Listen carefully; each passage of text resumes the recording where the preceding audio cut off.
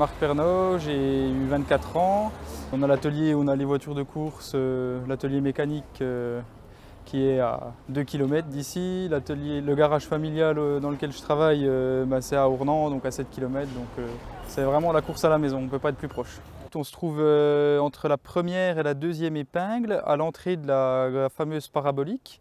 Donc on a ici un petit gauche qui se négocie à fond dans le meilleur des cas.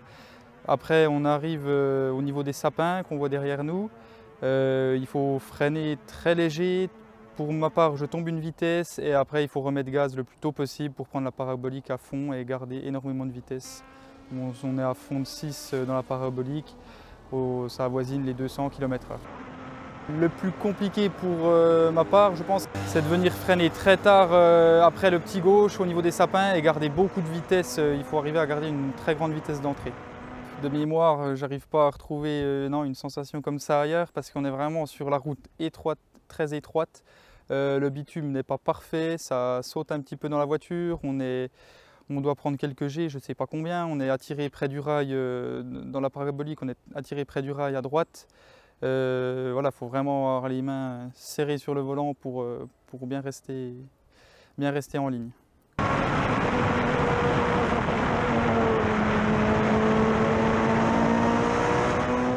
Il y a tout le passage euh, grande courbe euh, entre la première et la 2 qui est super important. Il y a le passage sous la roche entre la 2 et la 3 qui est pour moi l'endroit clé de la course.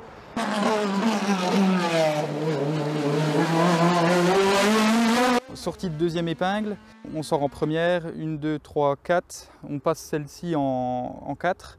quand on est bien en forme, qu'on se sent bien dans la voiture, on arrive à passer ce petit gauche à fond. Et ensuite, euh, il faut tenir accéléré le plus longtemps possible pour faire le tour de la montagne. Euh, Via euh, voilà, c'est réputé un parcours très, étroit. la Norma fait environ 1m80 de large. la route doit faire grosso modo 3,50 m de large, donc ça laisse pas beaucoup d'espace et ça laisse surtout pas le droit à l'erreur, particulièrement ici à Villafan plutôt pas mal de souvenirs. Donc la tribune, euh, c'est la dernière partie du parcours, sortie de la quatrième épingle.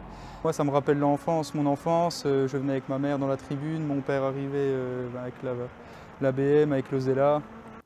Et puis j'ai plein de souvenirs des, voilà, des Formules 3000, vraiment plein de souvenirs d'enfance de, cette tribune. Voilà, le cœur est vraiment, on est vraiment en prise tout le long et c'est pas la plus physique, mais en termes de sensations fortes, pour moi, c'est la, la plus importante.